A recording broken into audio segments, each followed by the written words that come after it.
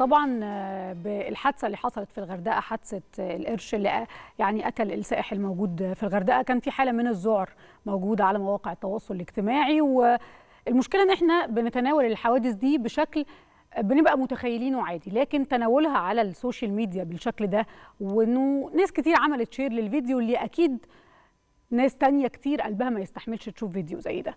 الحوادث دي لما نتكلم عنها فإحنا هنا 100% إحنا بنتكلم على الغردقة والبحر الأحمر اللي هي السياحة في مصر اللي الناس هناك يعني رزقهم وأكل عيشهم كله السياحة. وعشان كده البلد كلها امبارح كانت يعني آه واقفة بتحاول إنها تحل الأزمة دي بما فيهم الصيادين بما فيهم كل المسؤولين القائمين على هذه الأزمة. بالتأكيد حدث مأساوي آه كبير لكن لازم نفهم ونعي إنه الحوادث دي في مصر حوادث نادرة.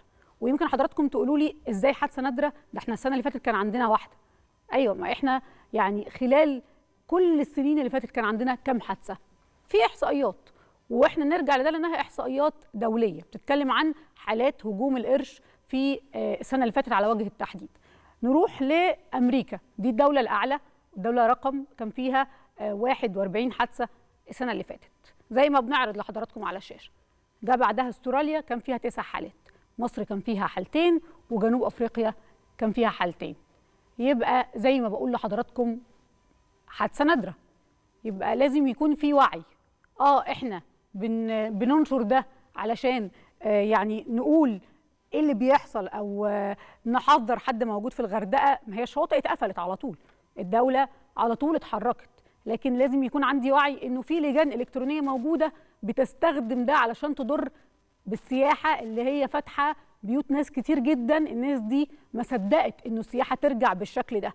إحنا كلنا بنفرح لما نشوف سياح من كل الدول يعني دول عربية ودول آه يعني أجنبية بقت موجودة في مصر. وعلى وجه التحديد الغردقة وشرم الشيخ وكل البحر الأحمر دي وجهة سياحية مهمة جدا جدا جدا. نرجع للحادثة ونتكلم كده في مسألة إنه ليه القرش ممكن يهاجم البشر رغم إن ده مش السلوك الطبيعي لسمكة القرش.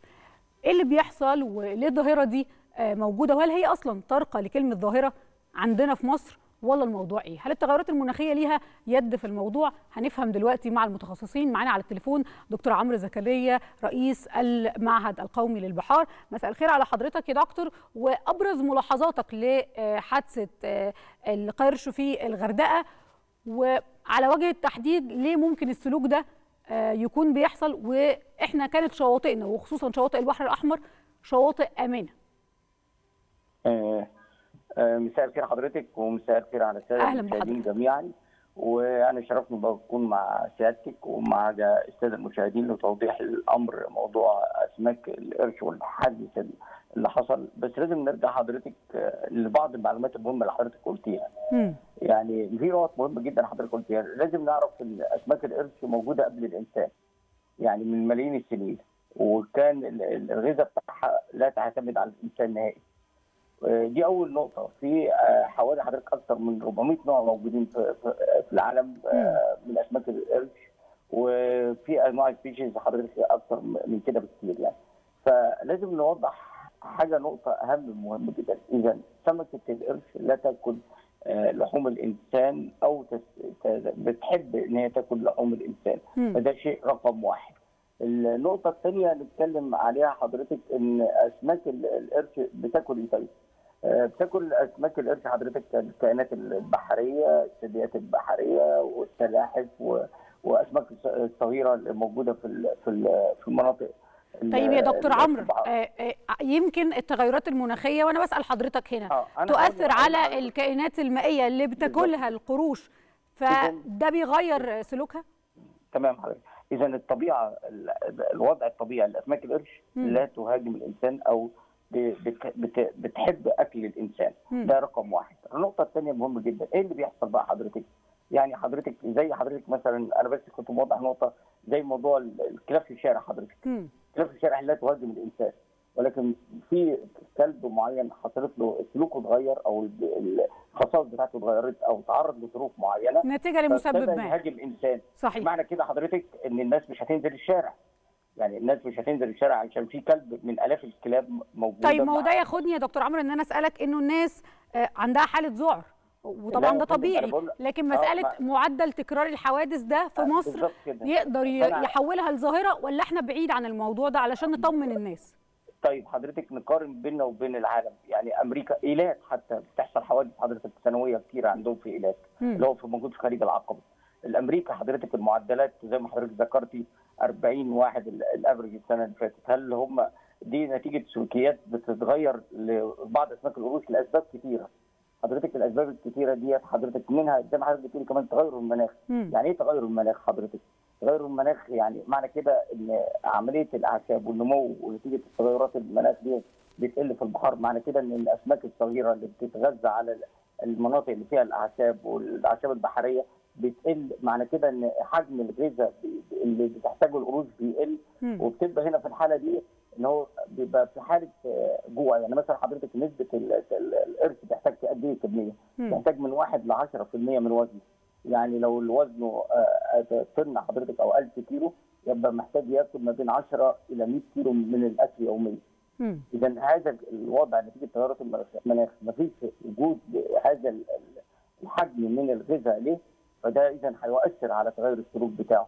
إن حضرتك زي الإنسان لو الإنسان وهو حضرتك الانسان وهو شبعان غير وهو جعان.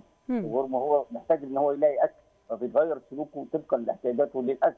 ده رقم واحد. رقم اثنين حضرتك بنتكلم إن هو حسب بعض التصرفات أو السلوكيات اللي بتحصل نتيجة الأحمال مثلا مراكب بتنقل الماشيه في البحار وبتنقلهم من هنا لما يحصل نفوق لبعض الماشيه وبترميها في البحر. بيجي أحد القروش بياكل هذه